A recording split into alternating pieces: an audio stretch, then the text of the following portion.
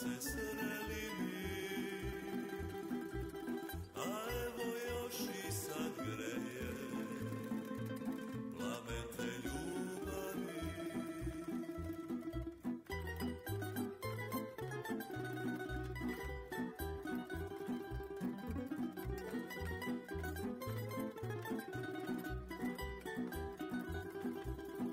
U severozapadnom dijelu Bačke ravnice leži Sombor, grad bogate istorije, tradicije i kulture, grad baroknih zvonika, tragova i parko, trgo, trgova i parkova, širokih ulica sa drvoredima kroz koje još uvek kaska fijakir.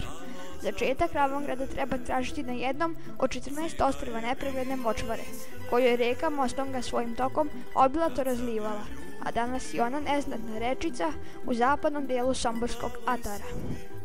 Imena naselja na ostrvima Mostonge javljaju se tek dolaskom Slovena i Mađara u ove krajeve, ali da su ta područja i ranije bila naseljena dokazuje arheološki i numizmatički nalazi.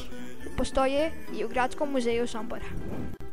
O Somboru je naš slikar Milan Konjović rekao Nema još jedan grad koji ima takav centar i venac oko njega, koji je skoro savršen bulevar, a unutar tog venca postoji izvesna, rekao bih, muzička ritmika.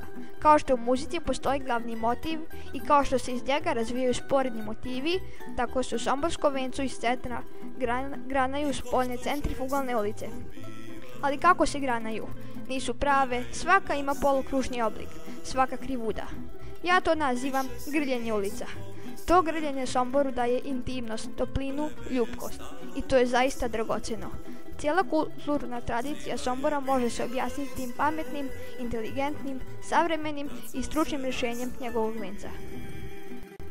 U tom tlocrtu sve je predviđeno. Recimo, ulice ne izbijaju jedna na drugu, svaka je za nekoliko korača pomerena, tako da se, dok čovek hoda jednim pravcem, uvek otvara novi vidik. Kroz Sombor se čovek ne kreće pravolinijski, uvek mora obilaziti, prelaziti, zalaziti. To razbija monotoniju. U tome ima puno humanosti. Osim toga, takav raspored ulica vrlo je praktičan. Vetar nikad ne može udarati punom snagom kroz grad. Na sve se računalo. Plan venca radio je pravi umetnik.